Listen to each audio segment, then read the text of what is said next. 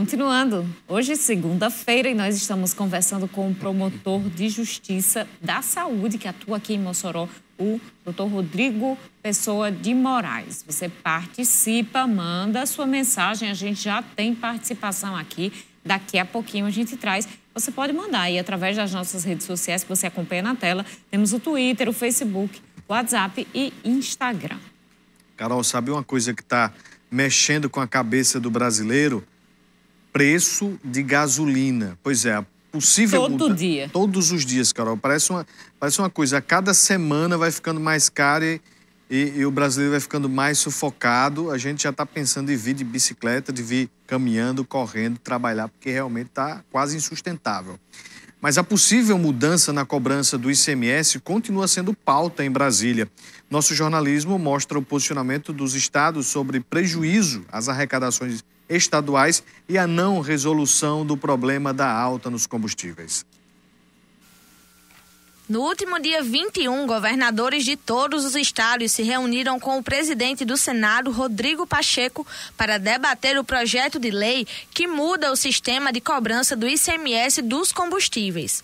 O objetivo foi buscar alternativas para evitar a mudança. Os estados, né, os 27 estados, foram convocados pelo presidente do Senado, o senador Rodrigo Pacheco, para discutir a, um projeto de lei aprovado de forma assoberbada pela Câmara Federal para os estados se posicionarem sobre esse tema. O projeto que já foi aprovado na Câmara dos Deputados tornaria o ICMS da gasolina, do diesel e do etanol fixo, o que não agrada aos estados. Uma das propostas sugeridas por eles foi a criação de um fundo para ajudar a equilibrar os valores dos combustíveis. Algumas propostas foram feitas de alternativas para solucionar esse problema que a gente sempre é, ressalta que é causado pela política de preço da Petrobras. Uma delas, uma das propostas, a criação de um fundo de estabilização é, com recursos federais para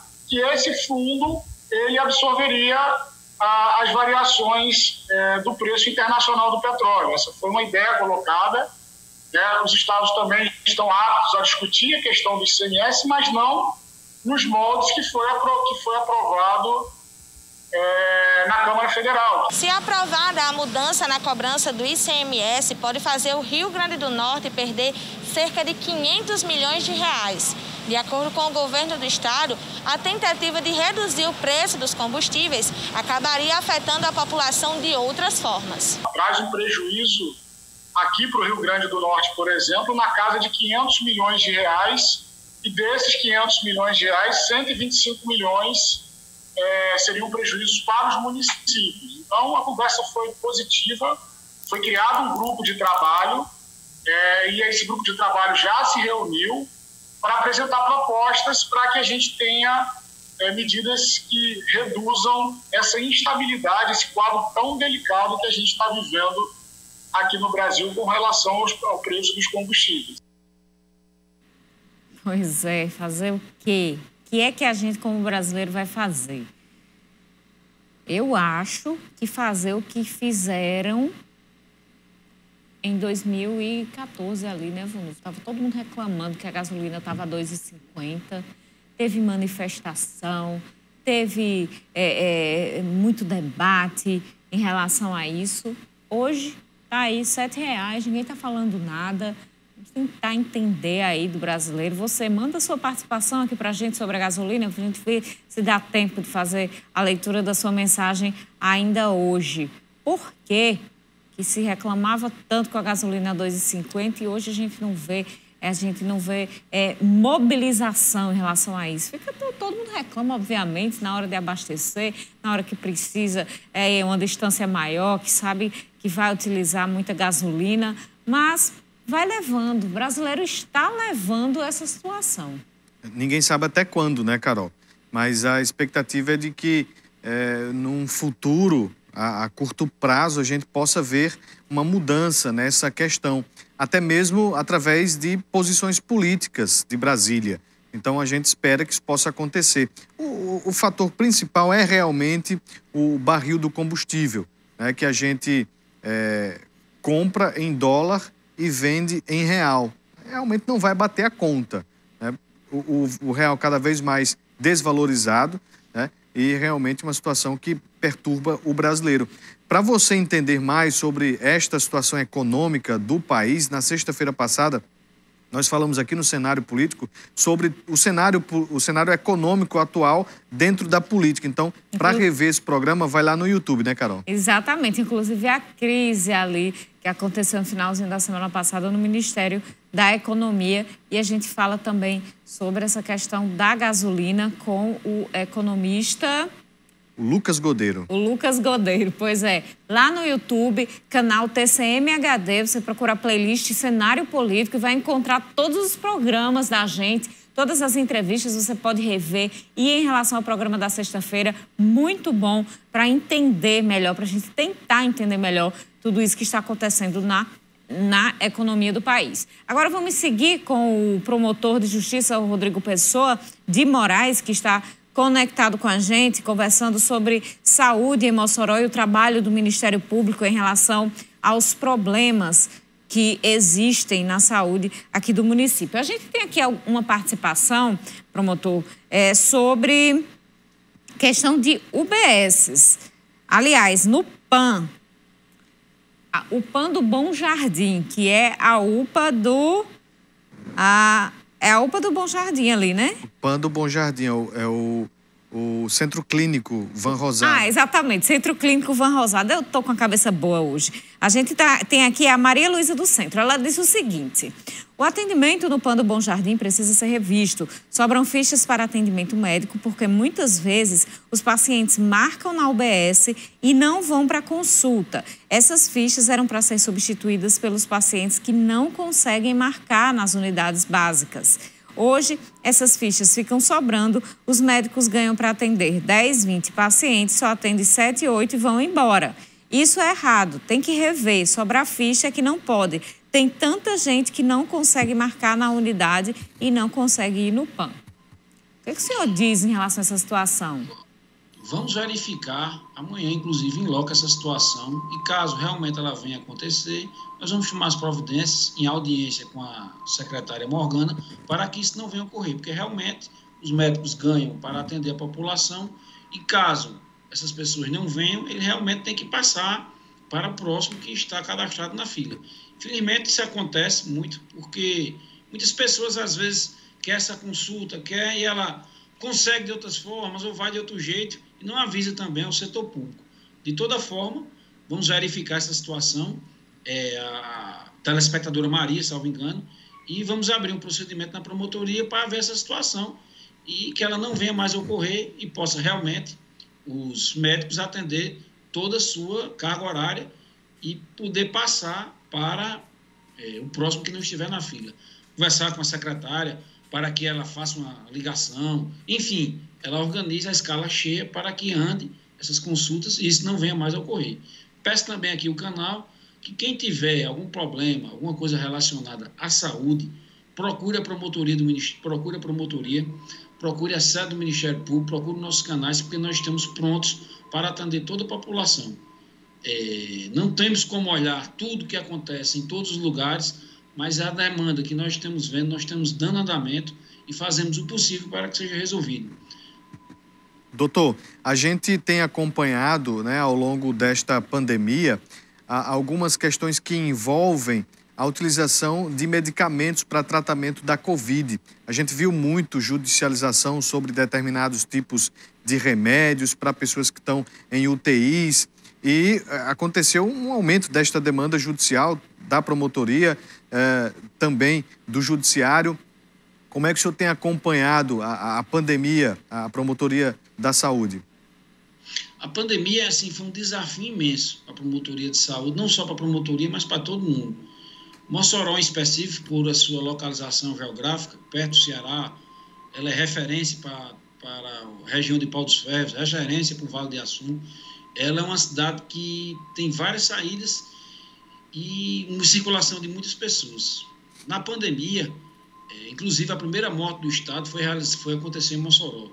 Tivemos um trabalho imenso, muito grande. Inicialmente, eu não sei se recordar aqui para os telespectadores ou para é, Van Duvel e, e Carol, que é, não existia um hospital de campanha.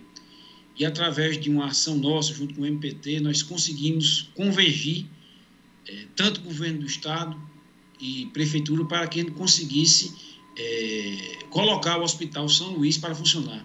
Tinha uma junta interventora da PAMIM, que está administrando a maternidade, e nem o Estado, nem a prefeitura estavam conseguindo abrir leitos. E nós sentamos à mesa de conciliação, várias e várias reuniões, para chegarmos a um termo comum, dividindo a participação do município, do Estado, da PAMI, colocamos esse hospital para funcionar, que foi o que salvou é, muitas vidas, não só de Mossoró, mas de toda a região, e não faltou leitos para a região de Mossoró. Houve, durante a pandemia, em determinadas épocas, é, um aumento muito grande da procura de medicamentos, pois não estava faltando. Me recordo, não me recordo o nome específico do medicamento, mas podemos mencionar é, é, o efeito que ele causa, que era aquele para entubar o paciente, que no começo, eu lembro do preço dele, era 40, 50 reais, em determinada época estava em 170 reais, 180 e não existia. E o que gerou algumas pessoas a fazer a demanda judicial para garantir o seu. Mas graças a Deus, com o empenho da diretora do hospital, doutora Larissa, que está administrando o Hospital São Luís, conseguimos fazer com que isso não faltasse em Mossoró. É, foi uma demanda imensa, mas graças a Deus, com o avanço da vacinação, com está diminuindo bastante os leitos e a ocupação do UTI. Chegamos a ter, em breve, passado recente agora, nem, nem o interno de, de corona. Então, é, pandemia não acabou, precisamos nos cuidar, nos cuidar ainda, usar máscara e fazer a vacinação de todos para que podemos é, amenizar essa doença que atingiu tão fortemente não só Mossoró, mas todo o Brasil e o mundo. A, a, é, doutor Rodrigo, a gente tem uma demanda que algumas gestões municipais é, já tentaram solucionar de alguma forma ah, em relação aos outros municípios. Por falta de estrutura de saúde em outros municípios aqui da região, municípios menores, a população costuma vir a Mossoró buscar atendimento. E aí, é, dependendo ah, da questão, dependendo do problema, procura ou Tarcísio Maia, mas também procura as UPAs aqui municipais, obviamente. E termina inchando aquele atendimento que está preparado para uma demanda X da população moçoroense e termina por atender ali muito mais, é, abrangendo a população de mais de 30 municípios aqui por perto. Já se buscou pactuação, já, já se pensou em soluções, já aconteceram inúmeras reuniões ao longo dos anos com esses municípios. Ah, o Ministério Público está atento a isso, percebe que termina ah, ficando deficiente o atendimento nas unidades de pronto atendimento aqui em Mossoró por causa disso. Há o que se fazer? Com certeza, há o que se fazer. Como você bem falou, Carol, é um problema antigo, vem acontecendo há muito tempo e a gente está tentando é, resolver essa solução, amenizar. Porque Mossoró, como eu falei, é uma cidade que é polo de muita gente, muitos pacientes tem parentes aqui em Mossoró, aí conseguem o comprovante de residência e são atendidos. A gente não pode negar o atendimento. Mas o que é que tem a ver? Tem que vir a, a pactuação. O município ele recebe para isso e ele tem o dever de pagar. Por exemplo, vamos citar um exemplo. Um cidadão de Upanema, ele chegar em Mossoró, o município de Upanema tem que pagar por esse atendimento. Tem a pactuação entre Mossoró e o município de Upanema chegar ao município de Açu, ele tem como fazer essa pactuação. A gente está tentando aumentar o controle, reunião com o doutor Cipriano, secretário do município, secretário estadual, doutora Morgana, para a gente alinhar e tentar fechar o máximo possível para não ser injusto com Mossoró. Pois Mossoró, a verba a gente sabe que a saúde é um dos grandes problemas, a verba sabe que o lençol é curto, tem que ser bem aplicado, e está sendo injusto, pois Mossoró está pagando por um serviço, um município que não é seu. Enquanto isso, o município, determinado município, recebe para realizar o serviço e não vem o fazendo seu adimplemento com Mossoró. É uma luta grande, mas nós estamos tentando afinar as arestas e pactuar de uma forma que isso venha a minimizar-se bastante. Não se tem como evitar 100%, pois, como relatei, é, muitos pacientes têm parentes aqui em Mossoró. E eles chegam, dão um comprovante de residência e entram na conta do Mossoró. Mas nós estamos fazendo esse atendimento é, junto com a Secretaria Municipal e a Secretaria Estadual e para que entre, entre no consenso de uma forma que evite que isso venha ocorrer e prejudicar é, o cidadão de Mossoró e a prefeitura e o estado que vem pagando por esse serviço que não é do município de Mossoró. A gente tem aqui a participação do João, diretor da UPA, do BH e toda a equipe, sempre ligado aqui com a gente, dizendo que a entrevista é muito produtiva. Muito obrigada pela audiência de sempre. E temos a participação do Kleber, que ele fala sobre uma questão hum, estadual, não, não relacionada diretamente ao município. Pergunta qual a opinião do senhor sobre a, a, compra dos respiradores do consórcio Nordeste e da solicitação do deputado Kelps para a saída do Rio Grande do Norte do consórcio. Bem, esse é um fato que já está sendo investigado por outros colegas do Ministério Público. Realmente houve um pagamento por esses respiradores, eles não chegaram e é, está sendo investigado. Como está sob investigação do Ministério Público Federal, também da CPI, eu evito estar tá falando sobre é, fatos que estão sendo e no presente momento estão sendo investigados. Mas é, tem que realizar essa investigação para se apurar realmente o que ocorreu porque foi pago um dinheiro e ele não veio a ser efetivo, onde estava se, é, no momento, é, necessitando bastante de recursos. Então, está sendo investigado e vamos aguardar o resultado das investigações, tanto da, do Ministério Público Federal, do Ministério Público Estadual e da CPI, para depois emitir um verdadeiro é, juízo de valor, pois o que eu venho a saber é justamente que houve esse pagamento e não chegou. Então, eu não tenho as nuances da investigação nem do fato concreto em si. Então, eu evito falar de coisas que eu não posso e não domino completamente. Doutor Rodrigo Pessoa de Moraes, promotor de justiça, muito obrigada por conversar com a gente no programa de hoje. Carol, Vonulfo Prachetes, eu que agradeço. Agradeço também a toda a população e todos os ouvintes. Peço que a população que esteja nos ouvindo, qualquer problema, qualquer coisa que esteja relacionada à saúde, nos procure, que vamos conseguir é, tentar investigar essa situação e fazer com que isso não venha a ocorrer. Muito obrigado, obrigado doutor. Seja sempre bem-vindo, doutor Rodrigo Pessoa. Você de casa, boa noite, até amanhã. Muito obrigada pela audiência. Amanhã a gente se encontra. Uma ótima noite e até lá.